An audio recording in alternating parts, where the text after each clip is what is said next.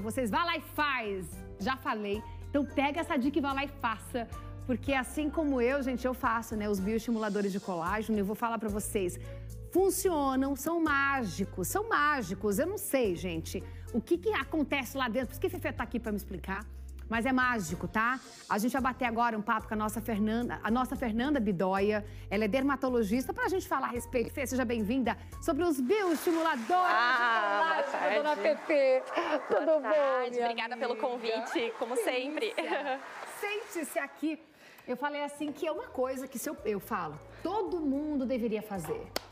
Olha, Como é apaixonante, Fefe do céu. É, é, é, um mundo novo, né? Os bioestimuladores de colágeno, a gente não tem eles há tanto tempo, ah. mas a gente gosta muito para paciente jovem, para paciente mais velha. Uhum. Por quê, Ju? Deixa eu só hum. dar uma explicação aí uhum. pro pessoal geral que tá em casa.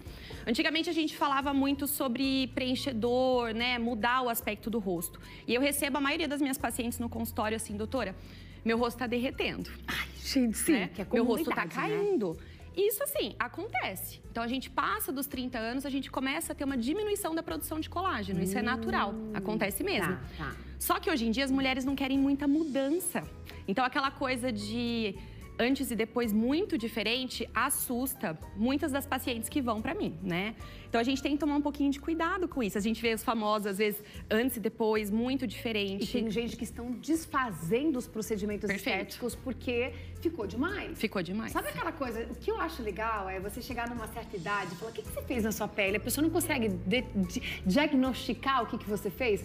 Porque Perfeito. é tão natural. Eu acho que para mim é isso. Isso é. é. válido. E é diferente, né, Fê? Porque a gente tem que aceitar a nossa idade. Eu falo assim, Ju, você não tem que mentir a sua idade. Eu acho que você tem que estar bem na sua idade. Exato. Então, uma paciente de 50 anos, ao meu ver, ela não tem que parecer que tem 30, ela tem que estar bem aos 50, uhum. né? É isso que a mulher tem que ser. Então, a mulher tem que se sentir bem, ela tem que estar satisfeita, ela tem que aceitar a idade. Aliás, por exemplo, 50, 60 anos, é uma história de vida que, que tem para trás. Você não precisa esconder isso. Fazem né? jus a isso. Né? Exatamente. Né? E daí eu gosto muito dos bioestimuladores. Você me convidou para falar disso e eu falei que assunto legal, porque ele entra nessa questão da gente melhorar a uhum, pele, uhum. estimular colágeno, uhum. melhorar a flacidez sem mudar o aspecto dessa pessoa, né? Exato. Então aquela pessoa que fala, eu não quero ficar diferente, eu falo, vamos fazer ele não muda, bioestimuladores. Né? Ele só melhora certo Só melhora. Então é também, é aquela né? coisa que as pessoas vão ver e vão falar.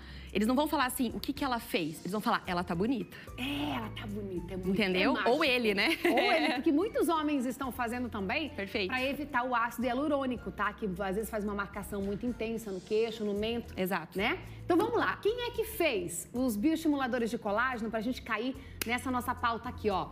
A gente tem o Renato Genichini, ele disse que suavizou as rugas e equilibrou também essa perda de volume da pele dele, Exato. deixando ela mais descansada. Ele adorou o resultado, disse que só usa isso porque ele descobriu isso, não quer mais usar nada.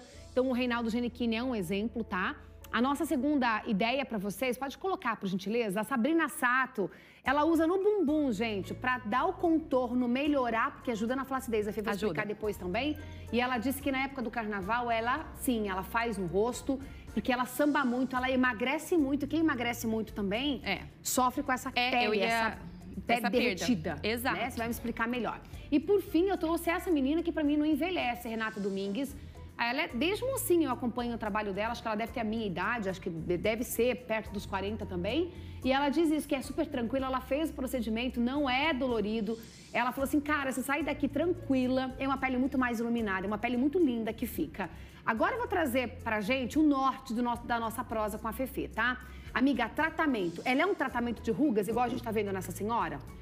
ela pode ser, os bioestimuladores podem ser auxiliares no tratamento das rugas. Tá. Tá, Ju? Então vamos assim, quando a gente tem uma paciente com muitas rugas, a gente tem, assim, a primeira mão, toxina botulínica uhum. para tratar essas rugas de quando a pessoa está fazendo expressão e essas rugas estão aparecendo.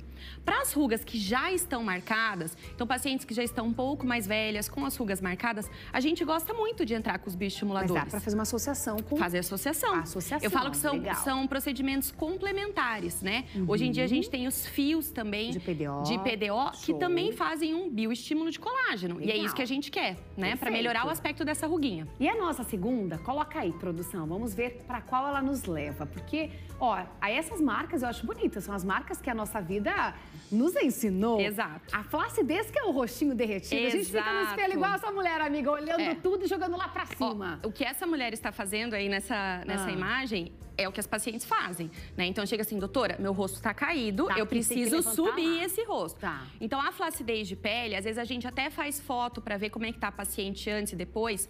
É, que é puxando a região da bochecha. Se você faz essa comparação quando você tinha seus 20 anos, essa bochecha não vinha muito. Não. Se você faz hoje em dia, vem mais. Agora vem me Paciência, aqui, ó. vem aqui, peço fofão. Não, de você não vem nem, você tá sempre Amiga, bonita, é, viu? porque eu tô sem a segunda sessão de pio aqui, mas senão Mas negócio... a gente costuma ter essa flacidez, isso é normal, então os bioestimuladores ajudam a sustentar esse rosto. Oh, que legal, né? É muito interessante. E a nossa, coloca a nossa terceira ideia, vamos ver. Eu trouxe imagens para ilustrar uma realidade. Gente, linha de expressão aquela pequena, aquela que está nascendo. Isso. Ela suaviza. Suaviza, Ju. Aí, nesses casos, por exemplo, entra naquilo que eu falei da associação com toxina botulínica. Tá. Fios de PDO para bioestímulo nessa região vão muito bem. A gente tem os bioestimuladores injetáveis. Uhum. A gente tem aparelhos, né, máquinas com tecnologia que também fazem esse bioestímulo. Então, eu gosto de associar, né? Legal. né? Não é uma coisa melhor do que a outra. E uma coisa que muita gente pergunta, pode colocar a próxima. Tem tudo a ver com o que a gente fala, que é cicatrização. Uhum. Aliás, de cicatrizes. Ó, a gente tem um minuto e meio aqui, amiga. Meu Deus do céu, como o tempo voa. Ó, a correção de cicatrizes, pele assim de catapora, enfim, ajuda, né? Ajuda a melhorar. E acne também. Até porque quando a gente faz a aplicação, quando você coloca o produto ali, você ajuda a soltar um pouquinho essas cicatrizes. Ah, ele dá uma, ele aspecto ameniza um aspecto, também. Exatamente. E a nossa última, a gente fala do corpo, que é justamente isso, a flacidez corporal. Eu coloquei uma representatividade de três estilos de mulheres. Ambas podem ter em qualquer momento da sua vida Exato. uma flacidez por gestação, por excesso de peso, por emagrecimento. Perfeito. Enfim, e aí? No corpo também vai? Dá para fazer? Dá para fazer. Então, assim, mulheres no pós-parto, eu tive bebê agora, né? Tem uma é? bebezinha recente. É, a gente sabe que realmente, mesmo a mulher fazendo atividade física, dieta, a flacidez está na pele. Tá e essa flacidez da pele é difícil de ser corrigida só com alimentação e perda de peso. Daí a gente usa esses outros artifícios que a gente tem. Ó, eu quero ficar mais com o Fê. Se der tempo da gente voltar aqui, a gente volta com o Fê. Fê. Preciso pro break. Rapidinho eu já volto que tem mais mais. Fica aí!